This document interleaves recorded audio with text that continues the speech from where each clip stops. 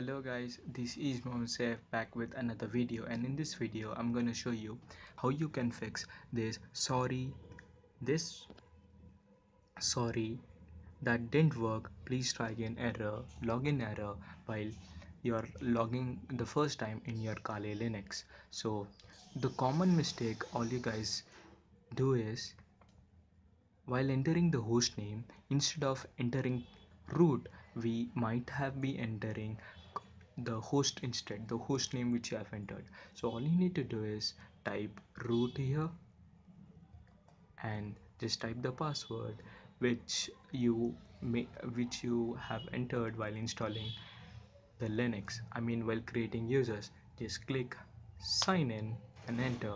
You'll be good to go if you didn't uh, didn't put any password while installing linux then your password will be the opposite of root that is t-o-o-r so that's it guys for further tricks about uh, kali linux and much more. So make sure you subscribe. Thanks for watching